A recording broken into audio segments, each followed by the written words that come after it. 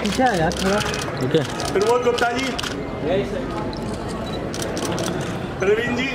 भैया साइड हो जाओ यार। राजेंद्र जी। और सुमेश सर।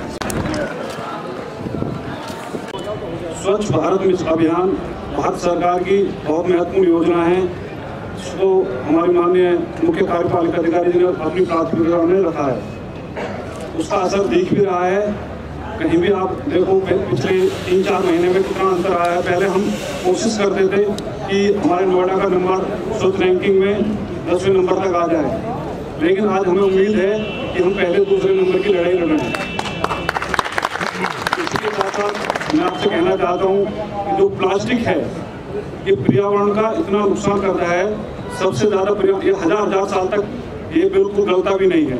तो मेरी आप सबसे अपील है कि प्लास्टिक का बिल्कुल प्रतिबंध, जो भारत सरकार ने लगाया, उसका, उसको बिल्कुल अमल में लेके आओ। मैं थोड़ा सा इसके साथ साथ मुख्य कार्यपालक अधिकारी से एक अपील करना चाहूँगा कि मेरे सेक्टर निवासी मुझसे बहुत नाराज़ हैं पिछले चार पाँच महीने से। उन्हें लगता है कि मैं अपने सेक्टर की कोई बात आता नहीं हूँ। तो मैं आपसे अपील करना चाहूँगा यहाँ सबसे ज़्यादा जो समस्या है एक चार दीवारी की है। बिना चार दीवारी के आप आवारा पशु तो काफ़ी यहाँ पर अंदर सेक्टर में अंदर एंट्री कर जाते हैं। तो मैं उसका टेंडर भी हो चुका है। अगर वो थोड़ी सी अगर उसमें मेहनत हो जाए तो हमारी चार दीवारी हो जाए, जिससे इनकी सुरक्षा, दो लोगों को सबसे बड़ा सुरक्षा का हमारा एक मुद्दा है।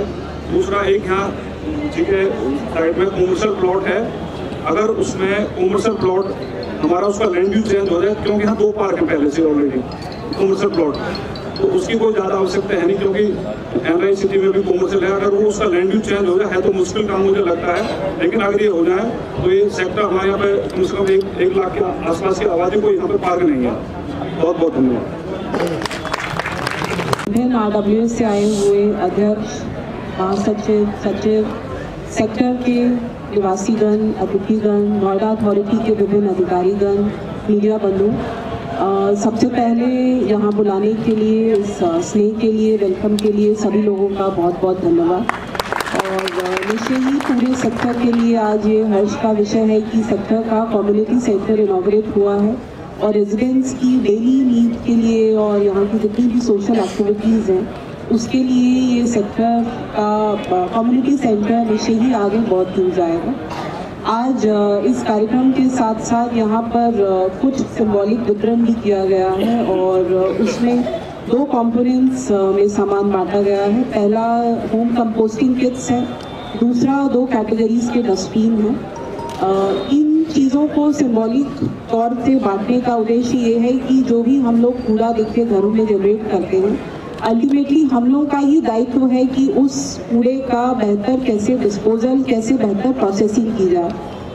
अगर हम लोग सब यही सोचेंगे कि ये ज़िम्मेदारी सरकार की है, नोएडा अथॉरिटी की है, खाली उससे काम नहीं चलेगा, कूड़ा बढ़ता ही जाएगा और बगल में हम सभी लोग जब भी गाजीपुर की तरफ़ से गुजरते हैं, पूरा कूड़े का पहाड़ देखते हैं और उसको देख के कहीं ना कहीं डंपिंग ग्राउंड से हम लोग को डर लगता है।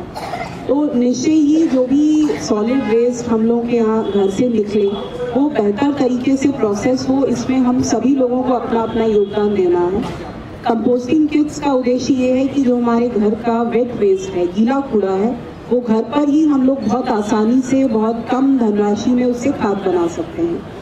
दूसरा, अब लगभग सारे सेक्टर्स में, सभी गाँव में, सभी हाई राइज सोसाइटीज़ में नोएडा अथॉरिटी की कूड़ा कलेक्शन की वैन जाती हैं। तो जगह गैप्स भी हैं, लेकिन 90 परसेंट लगभग हम लोगों ने कवरेज कर दिया है।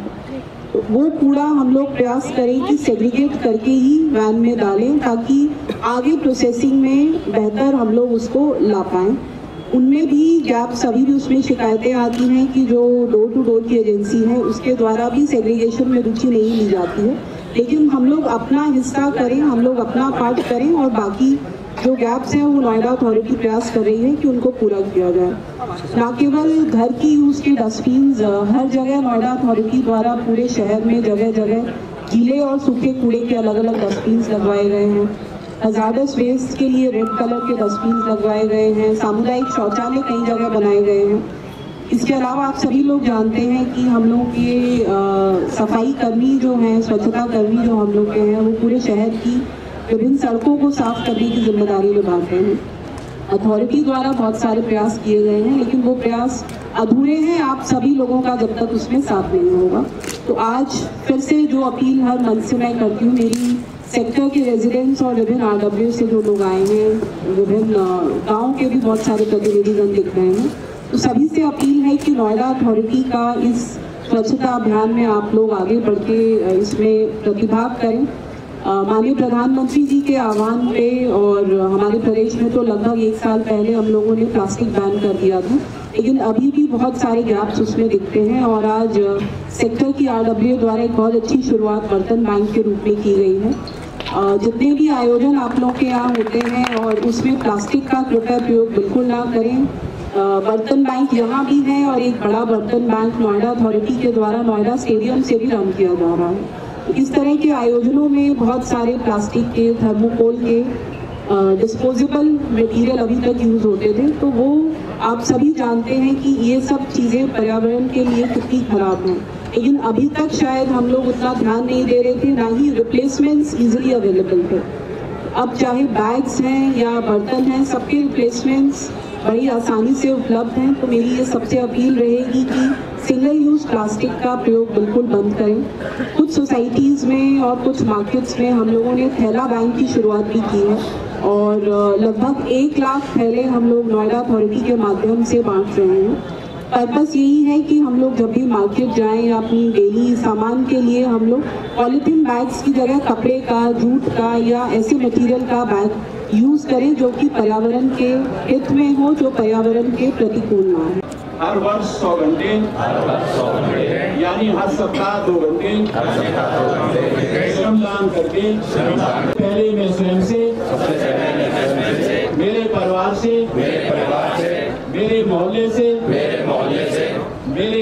मेरे गाँव से एवं मेरे कार्यस्थल से शुरुआत करूँगा। शुरुआत करूँगा मैं यह मानता हूँ कि मैं ये मानता हूँ कि दुनिया के जो भी देश स्वच्छ दिखते हैं दुनिया के जो भी देश स्वच्छ दिखते हैं उसका कारण ये है कि उसका कारण ये है कि वहाँ के नागरिक गंदगी नहीं करते वहाँ के नागरिक गंदगी नहीं करते। और ना ही होने देते हैं। और ना ही होने देते हैं। इस विचार के साथ इस विचार के साथ मैं गाँव गाँव मैं गाँव गाँव और गली गली और गली गली स्वच्छ भारत का प्रचार करूँगा। स्वच्छ भारत का प्रचार करूँगा। मैं आज जो शपथ ले रहा हूँ वह अन्य सौ व्यक्तियों से भी करवाऊँगा।